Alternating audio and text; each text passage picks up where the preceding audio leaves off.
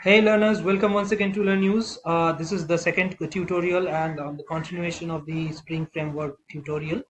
Today's special topic is dependency injection and I'm going to show you how this dependency injection is achieved and what are the types of DI and how uh, we are going to implement that or we have already implemented that in code. I will show you how it is going to happen. So let us come on to the tutorial frontline page.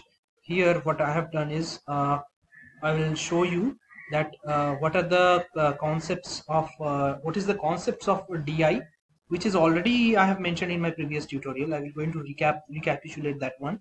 And followed by I will show you an example where of a spring message class which has an attribute of message over here. And uh, how uh, in the XML con based configuration we are going to achieve that. This is the portion in which it can be achieved. Okay so let us first of all come uh, come back to the definition of DI. Dependency injection, what is it? Dependency injection is basically an implementation of inversion of control where the uh, dependency of uh, where a particular bean which is dependent on another bean is injected by the framework rather we are not taking care of any direct injection of a bean of a dependent bean uh, of an independent bean into the dependent bean in the code itself. Rather we are configuring it by a separate configuration xml file. We are going to achieve that.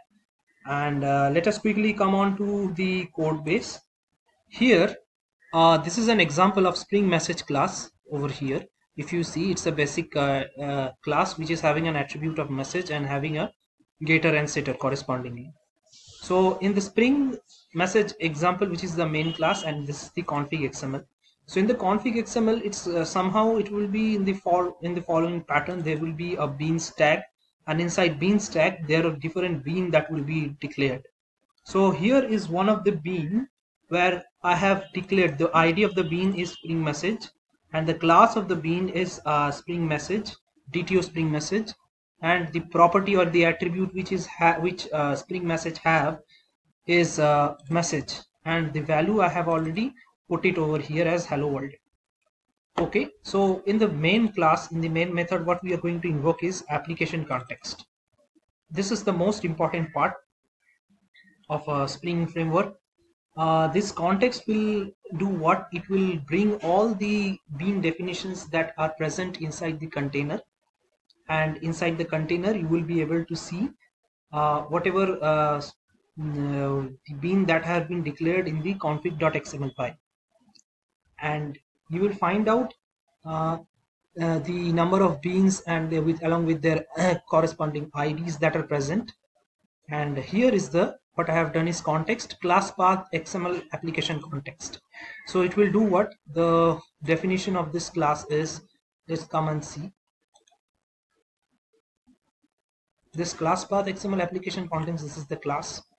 And uh, the main functionality of this class is to find out the configuration files config.xml uh, whichever I have passed it the value over here. It will go into the file structure from the root of the project and we'll find out this one. And we'll load all the beans that are being declared in the container. Now we are searching what we are actually looking for context.get bean this with this bean id we are passing and the id would return a bean of type spring message. A spring message type of bean that will return and uh, we are capturing that. We are not creating any sort of objects like this. We are not doing this.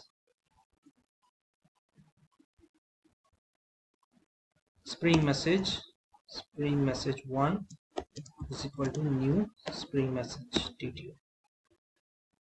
We are not creating it anything. Rather the attribute we are setting it with the help of the XML file. Okay, so let us quickly run this application and you will see that we are printing the message that is being set in the spring message, the value of the message attribute. And here is it hello world. Okay, Hope you're clear with this part. Now let us quickly go back and uh, come on to the different types of dependency injection. There are two types of dependency injection. One is a constructor based, one other is a setter based. So in the first example, if you see, this is a setter based where a setter method in the in the Spring message class is used to set a particular property. A setter method has been used. If you come and see over here, here, this is the thing. We are not using any sort of Spring message constructor. Say for example, we could have done like this. Uh, public Spring message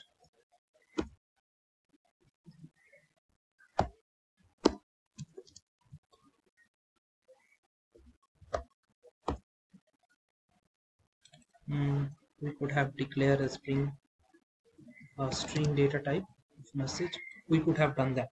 So in order to set the value of the of this attribute private string message we can use two ways.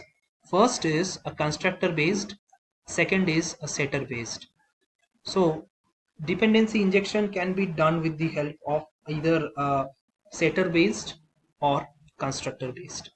So in the first example which I have shown you is a is a setter based. So if we, I am going to show you in the constructor based, I am going to comment this out. Uh, for this example, I am I will going to I will show you two different examples. So first, let's come to the constructor base. Let me close all this and open the relevant ones. Constructor based DI example and config class of constructor. Okay. As you can see over here, payload is an object what I have done is I have layered my tutorial into two parts and uh, configured them as a one. Here payload is a class with an attribute message okay? And that payload is the object which is being injected into message con. Uh, message con has an attribute which is a class of type payload which is of type payload and payload in return has a type of message okay so what I, I am actually showing you the tutorial of injecting object beans beans uh, class beans not a not the generic way of like uh, mm, uh, in the first example. What I am showing you is the message con has a dependency has uh, is dependent of uh, on an object of uh, payload class and payload has an attribute of message. So we are going to set that message attribute of payload and that payload object will be taken will be further injected into message so in the config.xml here it's the constructor. Constructor is setting this payload. This payload equal to payload. And in the config uh, uh, in the config file if we come so first of all what we have done is we have declared a an uh, a bean of payload configure id a bean of type payload and in that payload the attribute message is having a value constructor based DI example.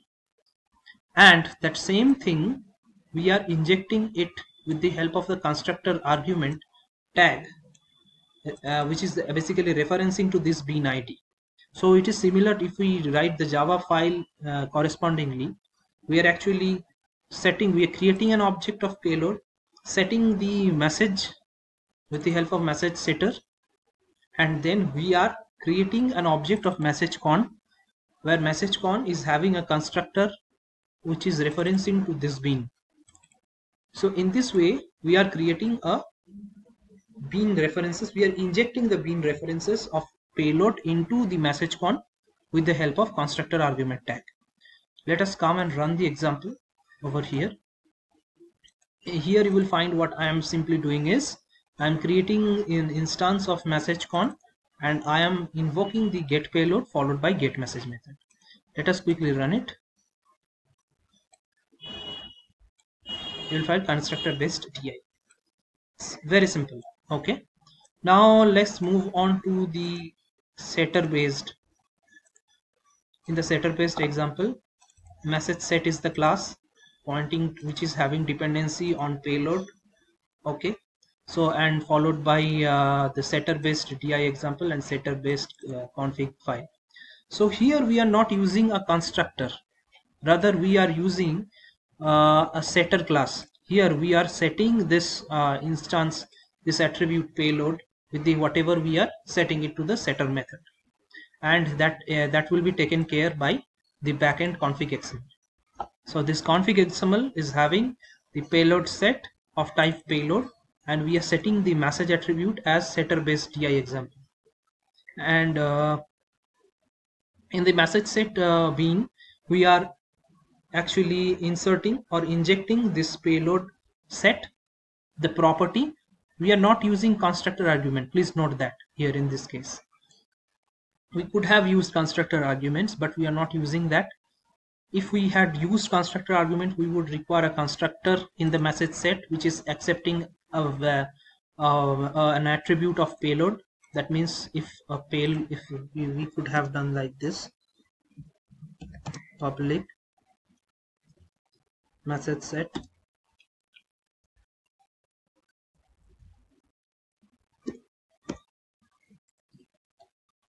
The payload equal payload. And this payload we would have passed it over here.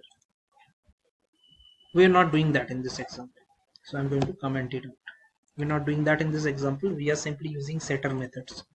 So in the setter.x in the config set uh, di.xml what we are doing is we are setting the property instead of constructor arguments and that property whatever value or things will be there since it's a um, it's not uh, uh, the integer type or string type value so we are not giving any value over here we are referencing it to a bean this so in this way we are creating it.